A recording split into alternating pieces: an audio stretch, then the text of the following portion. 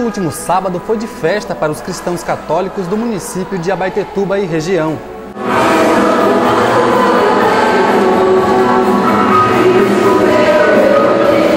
Um momento único para quem já esperava há algum tempo por este novo pastor.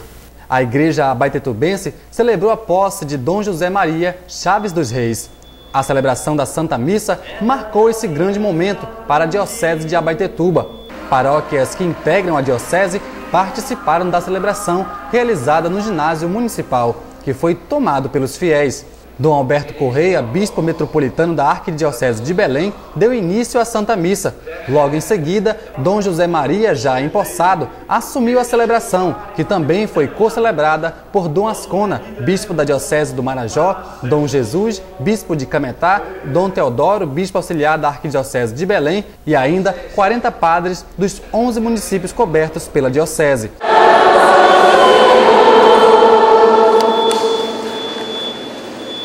A celebração festiva foi repleta de homenagens.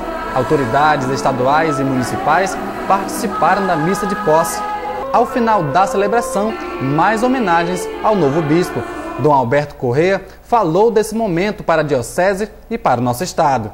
Nós agradecemos muito a Deus, todo o nosso Estado do Pará, a província eclesiástica, o Regional Norte 2.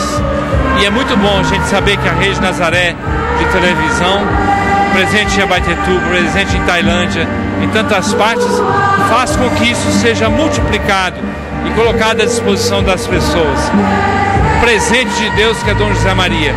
Nós ouvimos a sua palavra, o seu jeito de pastor, a unção com a qual ele se dirigiu ao povo de Abaetetuba. Que ele seja muito bem-vindo como bispo entre nós e que a Imaculada Conceição o acompanhe. Com muita alegria, desça sobre todos a bênção de Deus Todo-Poderoso. Pai, Filho e Espírito Santo. Amém. Desde a chegada ontem, uma recepção maravilhosa do povo de Deus que estava na rua à espera e está dizendo que essa igreja é uma igreja acolhedora, é uma igreja que vai às ruas, uma igreja missionária. Esse é o desejo do Papa Francisco, que a igreja ganhe todos os espaços para levar Jesus Cristo. E nós queremos viver pautado neste, neste carinho, neste objetivo de ser uma igreja aberta e acolhedora para todos. A alegria da comunidade católica diocesana foi manifestada pelo carinho ao novo pastor. Todos queriam garantir a lembrança do dia em que conheceram seu novo bispo. Dom José Maria é o terceiro bispo da diocese e chega com a missão da evangelização por meio de Maria, mãe da igreja.